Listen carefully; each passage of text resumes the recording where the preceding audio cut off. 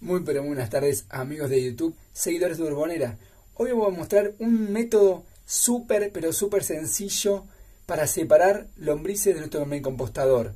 En caso de que tengamos otro vermicompostador y queramos iniciarlo, o si tenemos un exceso de lombrices queremos venderlas, o para alimentar aves o peces u otros reptiles. Vamos a mostrar rápidamente eh, para no perturbarlas tanto. Hay métodos con luz, con, con cribado, con exponiéndolas a temperaturas altas y demás, pero eso estresa a nuestras lombrices. Este método de mostrar es súper eficiente y no es dañino en absoluto. Así que ahí vamos. Muy bien, aquí tenemos nuestra vermicompostadora o vermicompostador. Y le voy a mostrar aquí abajo, lo que vamos a hacer es dejar una, un aguacate, una palta, partida a la mitad, como pueden observar aquí, durante 24 horas.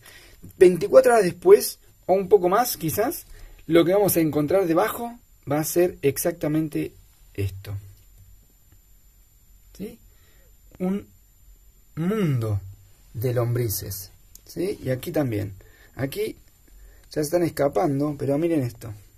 ¿Eh? Automáticamente las lombrices después de 24 horas colonizan el aguacate. Vamos a tapar nuevamente para no molestar tanto.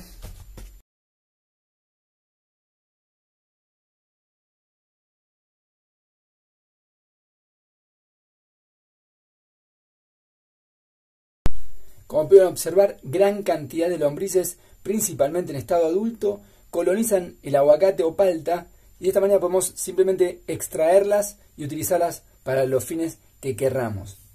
Bueno amigos, si les gustó el video, si les gusta el canal, compartan, eh, denle un like, pasen por la página de Facebook, la página web y nos vemos en el próximo capítulo. Hasta la próxima.